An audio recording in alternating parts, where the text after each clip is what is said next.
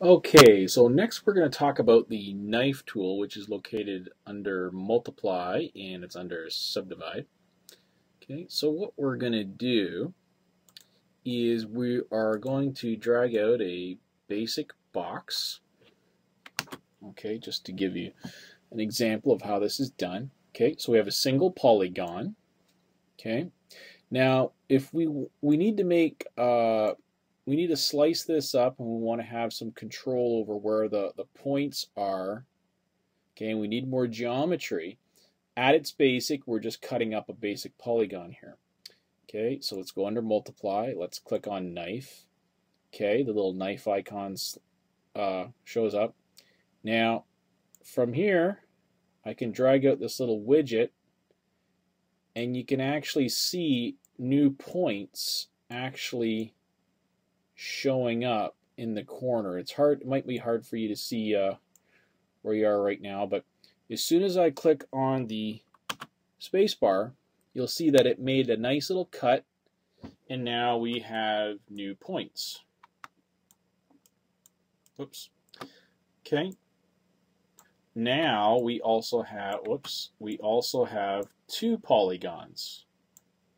Okay. Whereas before, undo, we only had one polygon. Okay, so if you want to cut this up for, you know, multiple reasons, it could be many. Okay, but this is how you can chop up a basic polygon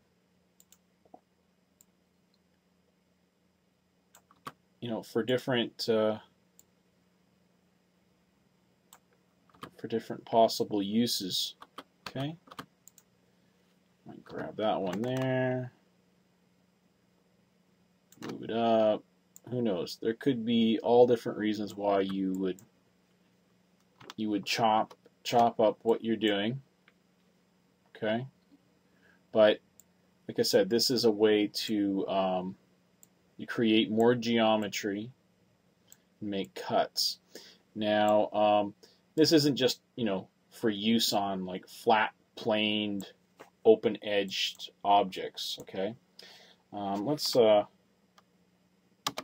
let's delete this. Um, let's pretend we had a, um, like a character and we'll just pretend this is its arm or its leg.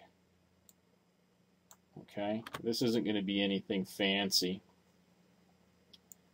Okay, let's just cut the ends out here. We're going to work in sub D mode just for this example because usually that's where usually model characters in sub D mode, at least nowadays anyways. Um, okay, so right now if I want to sculpt this into some something that looks like a leg, okay, um, I need to make some extra geometry here. I need to make some cuts. So I'm going to go to multiply. I'm going to hit my knife tab. And I'm going to cut across. Okay. And I'm going to circle these points. And I'm going to kind of bring them in. Okay. Now, it doesn't really look like a leg or anything right now, but if we start making a few more cuts, okay, different places,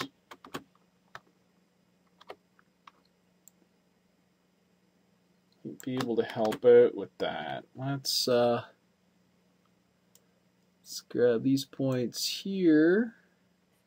Maybe bulge this out, maybe sort of turn this into something that looks maybe sort of close to like a knee. Let's hit uh, sub patch.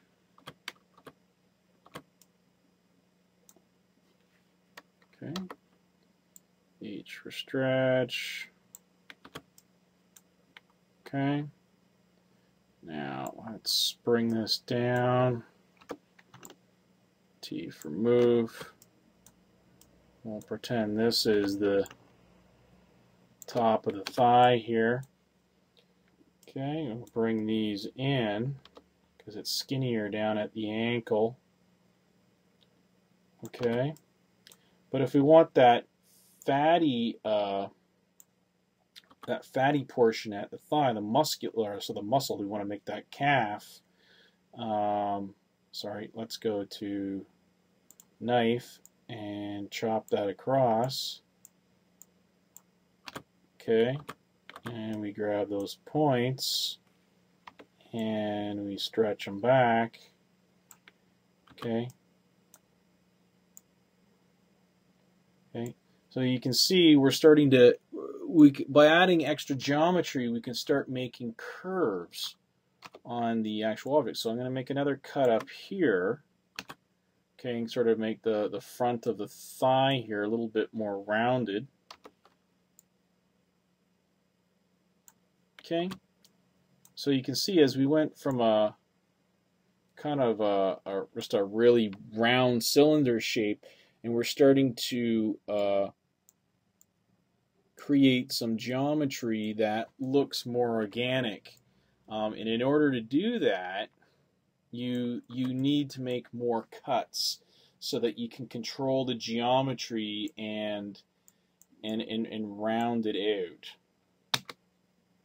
Okay, so that's how that's how sculpting and stuff is done is by by adding that extra geometry. Okay, sometimes it's good it's good to have a lot in certain places, and sometimes it's better to have less. Um, the more the more geometry you create, um, the more geometry there is, you can have more detail, but um, sometimes it gets to the point where it's out of control and you wind up having to do a lot of tweaking. So when you're using the knife tool, you're uh, when you're getting heavily into sculpting, you'll know that there are certain places where you're going to need it. For ex- we're going to need it more, then you're going to need it less. For instance, an area like right around the knee here, uh, notice that the cuts are a little bit closer. Let's uh, get out of subpatch mode. Um, so areas like knees and joints, like elbows and, and knees and stuff, you'll make cuts closer to those areas. But in the bigger areas, like the just the mus, mus, muscle uh, muscular type areas, um, like the thigh and the calf, you won't have the uh, you won't have these cuts quite as close. Okay, so anyways, this is just a basic overview of the knife tool. So basically, like I said, it's just used for creating uh, more geometry. So remember, you can use it on a, a flat plane type, like an open edge piece of geometry, or or something that's like closed like this. So you can shoot, you can cut straight across the whole thing. Okay, so as you notice, once again, if I just make that disc again,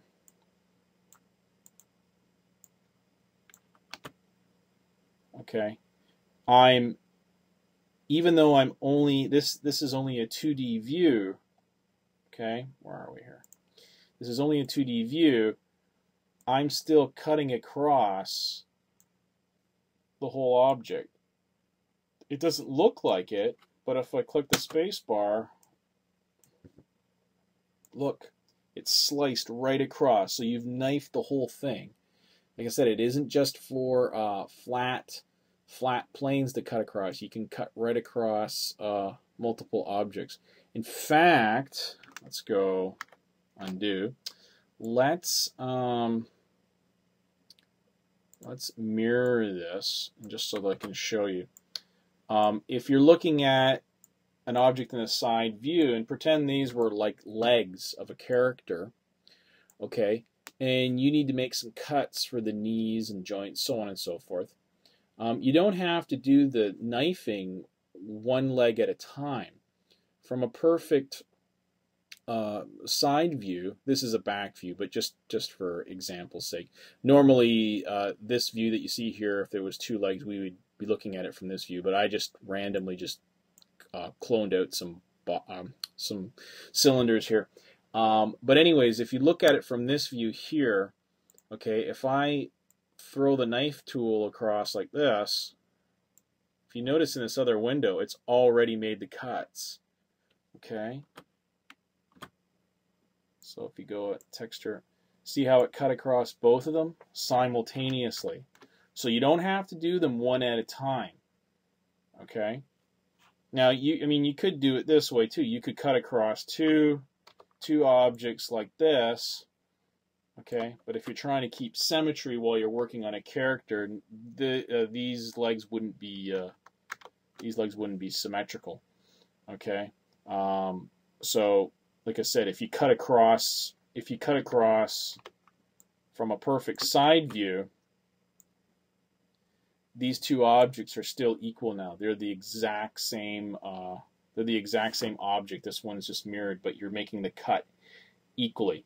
But like I said, if you you go like this and you're a little bit off, okay, that's how it cuts across. So, okay, so enough of that. I think you get the basic idea of how this uh, physically works. Um, the keyboard shortcut for the knife tool is Shift K. If you're doing a lot of knifing, you might want to get used to that. And then you hit the spacebar to drop, Shift K, spacebar to drop.